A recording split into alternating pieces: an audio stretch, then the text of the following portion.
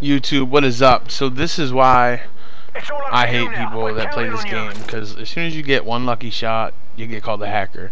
Check this out. This is the most epic kill cam I've ever got.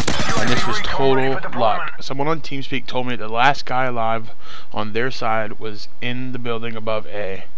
And uh, I just thought this nade would land at A. And no. Check this out. This is crazy. What? It hit him? Really? I freaked out. We are all freaking out. kid calls me a hacker. But uh, yeah, look at this. Right into the window. That's epic. I don't care what anyone says. And then of course, laugh out loud, laugh my freaking ass off, and look, ready? Boom. Hacker kid, he says. Come on, man. Really? Cheat kid. He called me a cheat kid.